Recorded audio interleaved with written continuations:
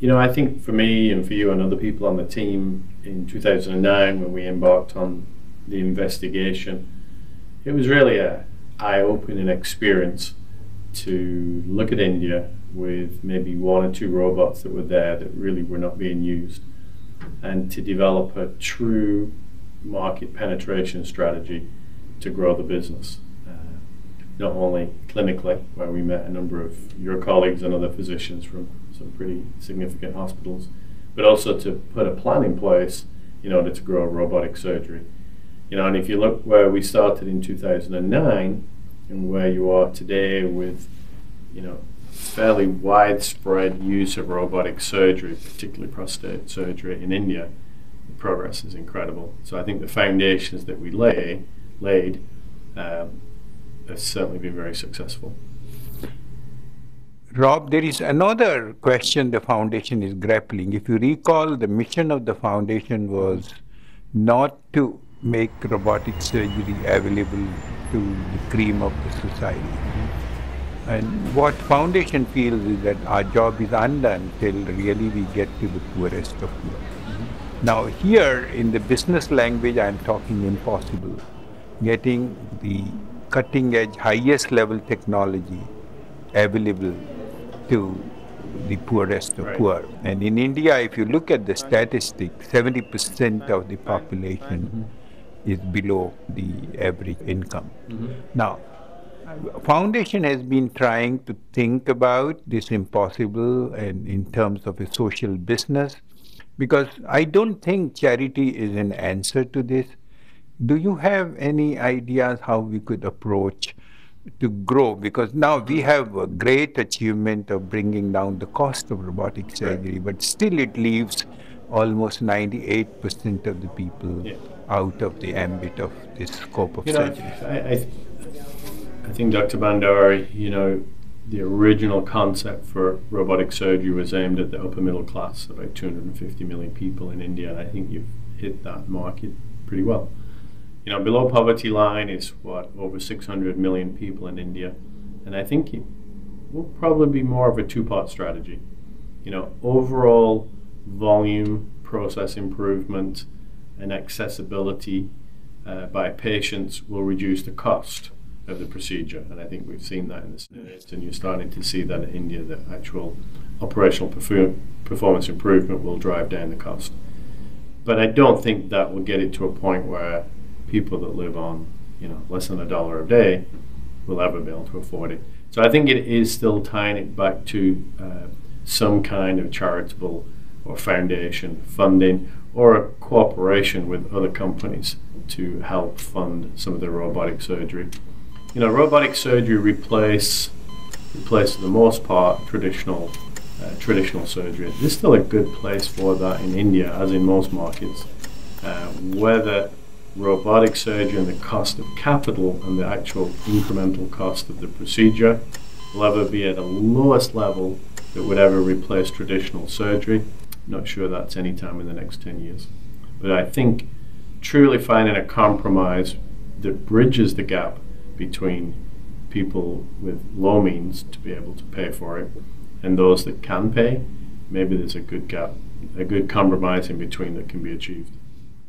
We have a big problem, as you understand. It's a monopoly item. It is expensive. Not only the capital investment, because capital intensive investments could be engineered through philanthropy. Mm-hmm. But when it needs a higher maintenance and recurring cost, then it is very difficult.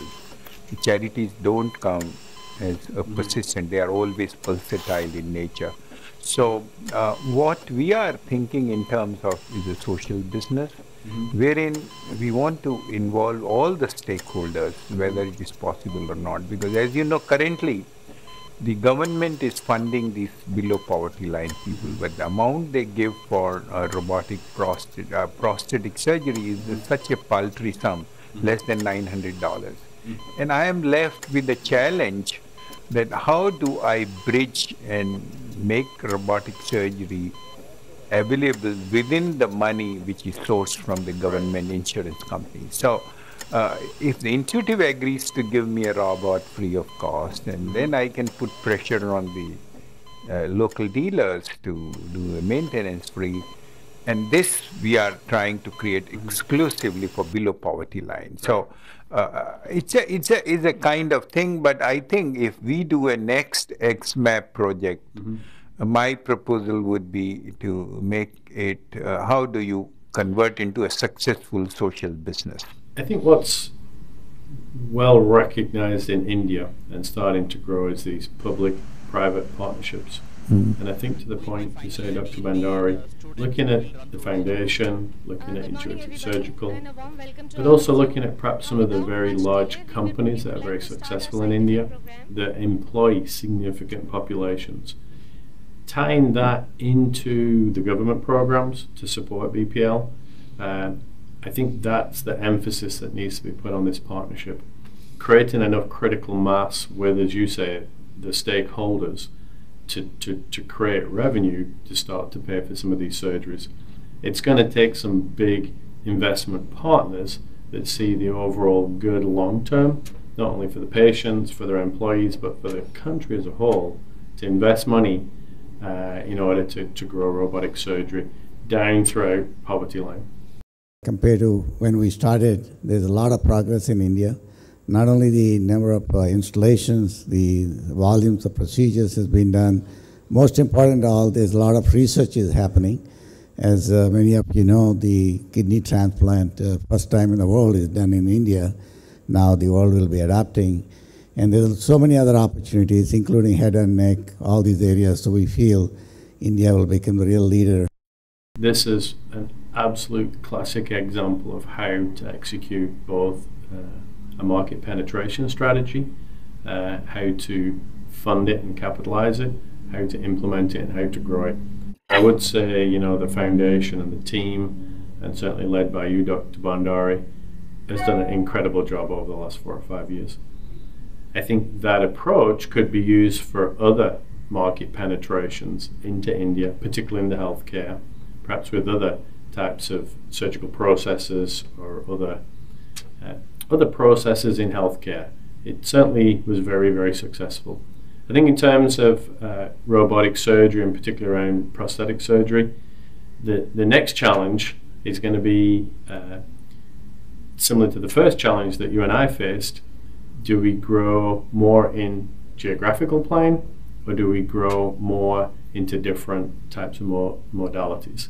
And I think that'll be a key challenge going forward. Is the robot mainly focused on prostate, or is there other areas that it can increase in uh, to the extent it has done in the US and in Europe and, and Asia? Thank you very much, Rob.